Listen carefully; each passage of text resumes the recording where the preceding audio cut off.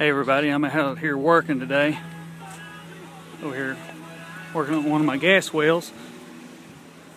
And I was walking through these weeds. I was actually spraying weed killer. I'm going to show you what I about stepped on. Had my sunglasses on, I couldn't hardly see it. See if it's still here. Yep, I see him. It's a big copperhead. See if I can pin his head down. There, I got him. See him right between my his head there sticking out. I'll scoop him up here and get him out on the road. There.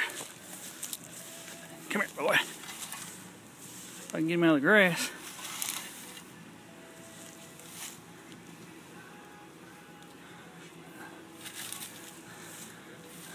Back in this deep, deep, deep grass, can't hardly get him. There he is. Come here, boy.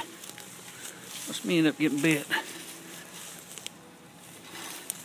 Anybody watching doesn't have these snakes around. These are venomous. I know I'm shaking the camera. I'm trying to get him out of here. There he is, right there. We have two kind of venomous snakes here where we're at in West Virginia, and this is one of them. This is a, just a copperhead, and you can see why it's called a copperhead. There, now I can video without moving around too much, but we have this snake, it's a copperhead, and we have a, I guess it's an eastern diamondback rattlesnake. And I see them pretty often out here working.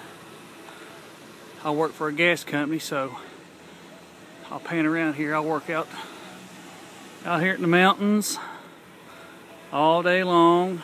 Uh, this is a gas well, one of mine. I was working on this one when I get these weeds taken care of. But run into this stuff all the time out here. Watch him pointing up at me. Ooh, see him striking? Anyway, I might post this on YouTube so some of my YouTube friends can see it. Some of you maybe have never seen a copperhead. I was picking some raspberries last year and there was one about six inches away from my hand and I didn't even know it. Lucky I didn't get bit, but I let this guy go. I don't kill him. I let him go. Most people kill him when they run into him, so I'll stick him over here. Go on, boy.